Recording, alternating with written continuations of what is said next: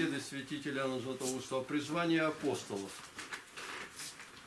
Посмотрите же, какова их вера и послушание. Они заняты были своим делом, а вы знаете, как приманчива рыбная ловля. Но как скоро услышали призыв Спасителя, не замедлили, не отложили до другого времени, не сказали, сходим домой, посоветуемся с родственниками, но оставив все, последовали за ним точно же так, как Елисей последовал за Ильей. 3 Царств, 19 глава. Христос желает от нас такого послушания, чтобы мы ни на малейшее время не откладывали, хотя бы того требовала самая крайняя необходимость.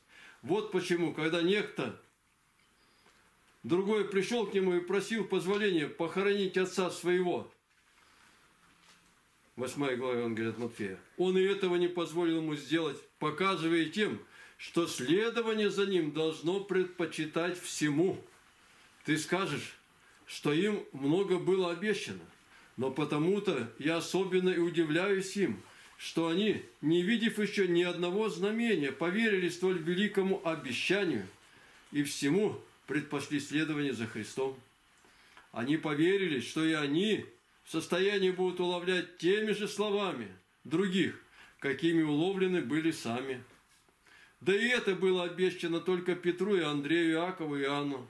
И того не было сказано. Только пример послушания первых проложил путь и им.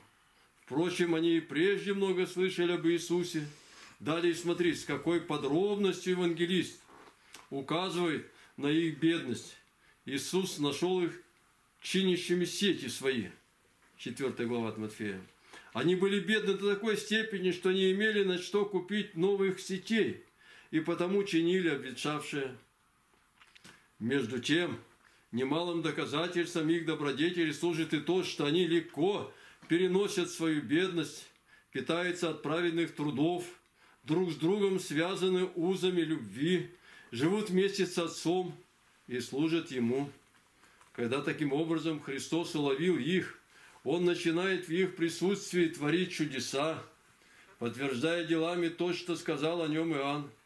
Он начинает часто посещать синагоги, научая этим учеников своих, что Он не противник Богу и не обманщик какой-либо, но пришел согласно воле Отца. И про посещение синагог Он не только преподавал, но и творил чудеса. Это было первые ученики Христа. А после этого прошли сколько множество учеников. Сегодня церковь совершает память всех святых в земле русской просиявших. Наверное, ни в одной церкви нет столько а, мучеников за веру, сколько в русской церкви. Это десятки, может быть, сотни тысяч. Вот. Поэтому, как бы здесь святитель говорит так, что нам-то гораздо легче уже, потому что мы имеем пример – как устоять в вере?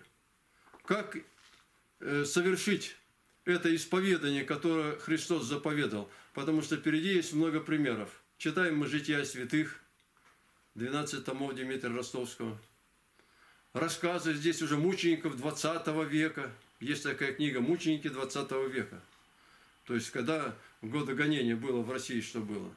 Поэтому нам, взирая на их подвиг, на русских, в земле российской просиявших, нам уже легче идти и исповедовать Христа и исполнять Его заповеди.